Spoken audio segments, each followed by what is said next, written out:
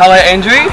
Uh, this is Andrew Martin, Year 10. Uh, I'm going to ask you some questions. Uh, so, what event did you take part in on Friday? Uh, I participated in the CIS baseball trials, like for a combined independent school, so it's good fun. Yep. Um, what did you achieve at this event? Uh, I made the team of 15 out of around 50 students, so it was it was tough, but it was good fun again. Yeah. So, what is the next level with baseball? Is this a career option for you? Uh, I will gladly take it as a career option. Like it's always good to be out there having a good time, but of course school has to come first, and I'll see what options take.